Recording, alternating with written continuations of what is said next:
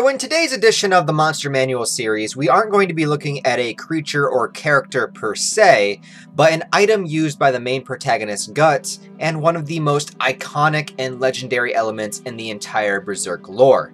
And especially with the release of Chapter 361 just a few weeks ago, I feel like this is a good time to talk about everything that we know so far regarding the one and only Berserker armor. Before we get into the manga, let's take a minute to explain what exactly a berserker is and was from a historical aspect. The word berserk means furiously violent and out of control, which definitely relates to the series as a whole. But the word berserk is derived from the Old Norse language, and it's kind of funny because it basically means bare shirt. Ber being bear, and zerk meaning shirt. This is not to be confused with bare shit, which is also something that can be used in battle if you are desperate enough to pick some up and throw it.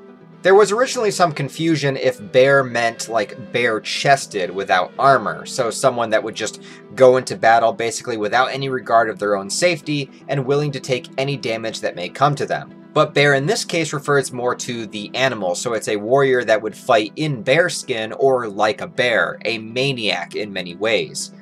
Somebody that could run into battle with a mysterious, empowered strength, almost like a superhuman. The Berserkers of legend were related to beasts just like a bear, but also even wolves, even more relevant when it comes to Guts himself and the Beast of Darkness, but I'll get to that in a moment. It's even rumored that the werewolf legend actually came from the existence of berserkers on the battlefield.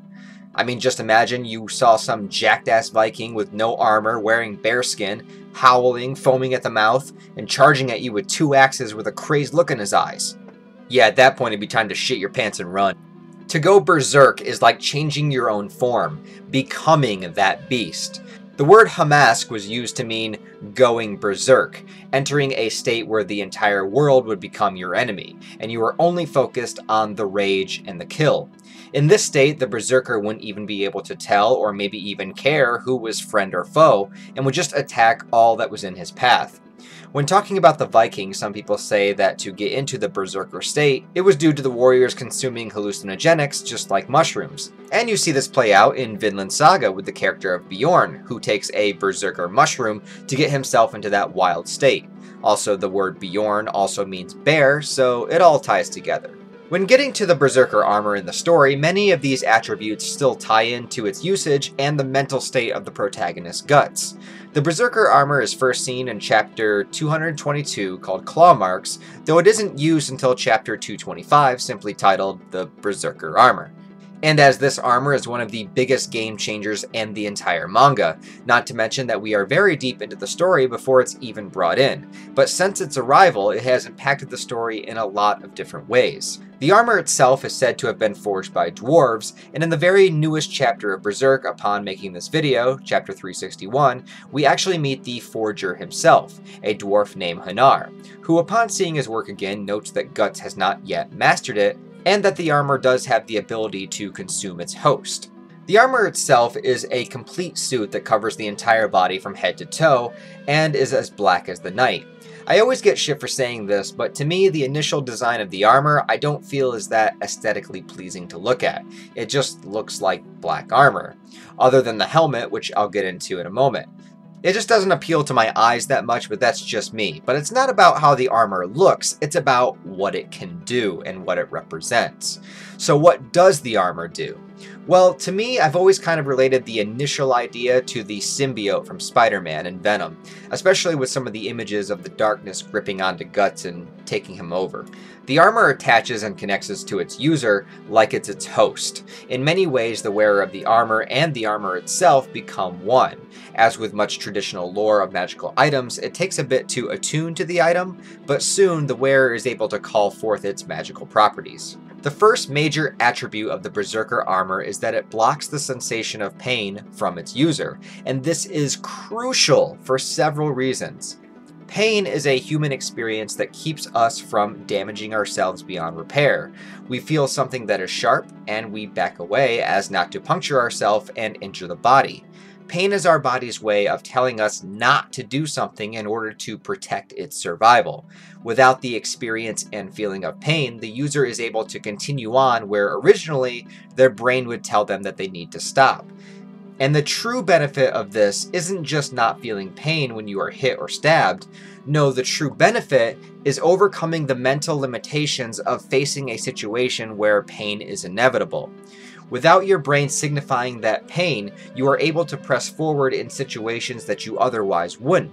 Like if you were running at your top maximum speed and you begin to feel pain in your knees, you would slow down as to not injure yourself. But that doesn't mean you aren't actually capable of running at that top speed longer. The Berserker Armor's intention is to keep you running at your top physical performance level for as long as needed or until you die. To increase this potential, the armor also taps into its user's inner darkness and unleashes this onto the surface. Most people have rage and darkness within them, but we keep this in check by grounding ourselves and remembering who we are and what we stand for. Not realizing that this darkness is also a part of ourselves.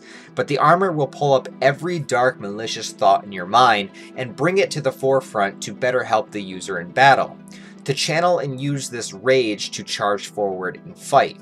Again, with the desire to fight at its maximum capacity, combined with the sensation of pain at its absolute zero, this allows the wearer of the armor to battle at his absolute physical peak with no interruptions. No need to stop to catch your breath, no need to worry about injury, no need to think about anything other than the urge to kill.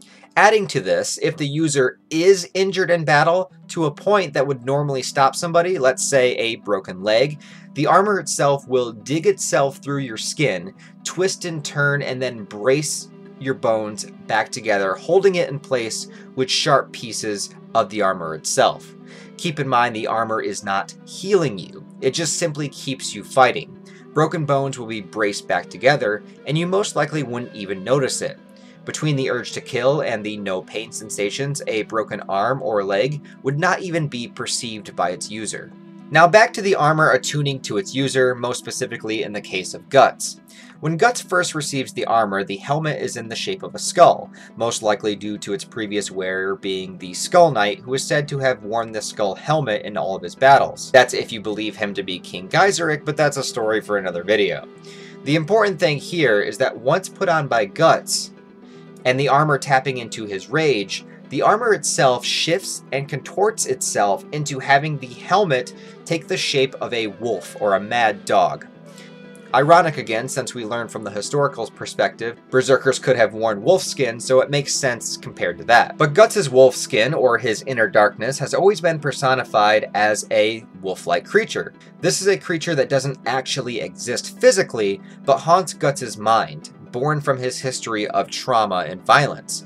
And wearing the Berserker armor, that Beast of Darkness is given corporeal form, for lack of a better word, and the beast within his mind is represented by his physicality, in the appearance of the armor and in the viciousness in which he fights. Now, as useful as the Berserker armor may seem, it has some devastating repercussions which honestly is one of the better aspects of the armor, just to know that something so powerful has equally powerful consequences. It's the yin and yang, the law of equivalent exchange. Now, as mentioned before, the armor fixes you in battle, but it does not heal you, so any injury you sustain while wearing it will need to be attended to later on. This is why it is very much more likely for the user to die in the armor than it is to survive and then be healed afterwards. In Guts' case, he does have the magical elf dust and an attentive crew, but he most certainly has been put out of commission several times thanks to wearing it. As well, the armor bringing forth your inner darkness is incredibly dangerous if you have comrades nearby. Just like the berserkers of old, when pulled into a rage and violent induced state, you may not be able to tell friend from foe. It's seen from Guts' perspective that everything he sees while in that rage state are just dark shadow creatures that must be destroyed. He has almost attacked his companions on multiple occasions, and not being able to see or think clearly while berserkering. Prolonged use of this armor will also affect the senses of the user. Vision will become blurred, taste will become affected, and even Guts' hair becoming white in a patch is symbolism of the change and deterioration of his own body. There is some hope though. Even though the armor seems much like a parasite, it seems as though there is a way to help channel and control its power for the user. Even as Hanar has stated, Guts hasn't mastered it. When everyone's favorite witch girl enters the astral world and attaches to Guts' ego inside of his own mind, she is able to help him stay coherent and grounded while wearing the armor. She holds onto Guts' own astral self and tells him to open his eyes. The darkness moves away from that spot, symbolizing that Guts can see who his enemies are clearly instead of seeing everybody the same. In this state, the helmet also changes its form once again, as to show that the Beast of Darkness is not so dominant.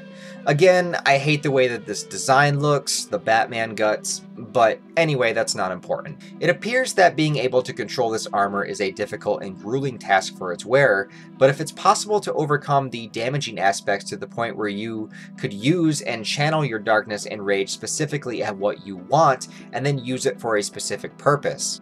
Most of the time, our rage is either suppressed or unhinged, and people wonder what to do with it. Unleash it or let it go bottle it up. But there is something else we can do with rage. We can repurpose it. The same energy that rage gives us, we can turn into something productive and beneficial for us. Otherwise, it destroys us. The symbology of Guts' physical body being literally destroyed by using an implement of rage and destruction is not lost on me. But just as well, there is benefit to the power that rage can give us. Carl Jung famously speaks about the shadow version of ourselves and what it means to keep it in, unleash it, or rechannel it for better purposes.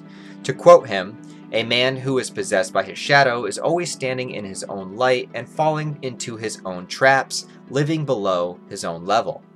Translate this to Berserk, Guts, by allowing himself to be possessed by his shadow, his beast of darkness, falls into his own traps. He is just as damaged by the darkness as his enemies are by him. Well, maybe not just as much since he obliterates his enemies with a gigantic heap of raw iron, but you know what I mean. He is physically destroyed by allowing his shadow self to be the dominant entity within his body. But Jung also said every descent is followed by an ascent. Basically, only knowing the true depths of your darkness can one come to understand and implement it for good.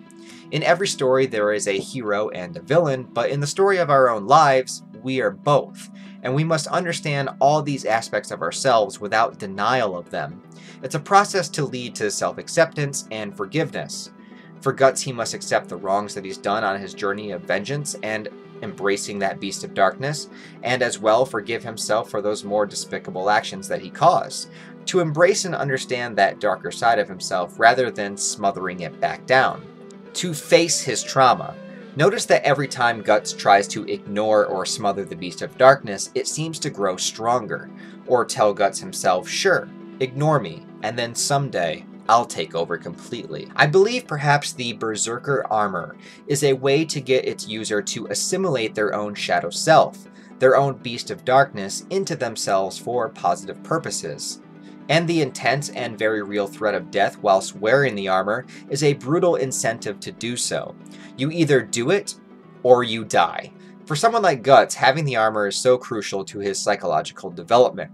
Perhaps within the Berserker, there is acceptance, understanding, and freedom. And we may just get this when Berserk's next chapter returns, whenever that will be. And I think it's ironic in the story of Berserk that we have apostles, humans turned into demons. In a way, I see each apostle form as that person's beast of darkness brought to the surface. But instead of integrating it, letting their beast of darkness become part of themselves, their beast became them entirely. I don't think it's a coincidence that Femto and the Berserker Armor Guts design isn't far off from one another. But unlike all the others who only unleashed their shadow and allowed it to consume them, Guts is on a journey of discovering his whole, full self, to be able to choose when and how to let the Berserker out. Complete control and mastery over oneself. And I can't help be brought back to the moment when Guts fought Griffith when leaving the Band of the Hawk. Griffith was fueled with rage and emotion. Guts was calm, and Guts won with a single stroke. Also, remember not to fight anybody while they're wearing a Berserker armor because unless you have the strength of the gods, they aren't going to stop until you die or they do. But anyways, guys, thank you very much for watching this video. I really do appreciate it. Please put all your thoughts, comments, and concerns about the Berserker armor down below in this description. What do you think we will get when the next chapter comes out? Do you think the Berserker armor concept and lore will evolve even further? And what do you think about its usage and point in the story so far? As always, guys, thank you so much for watching these videos. I really do appreciate it. Please give it a thumbs up, a like, comment down below, subscribe if you want to stick around and see more. And until the next video, I'll talk to you next time.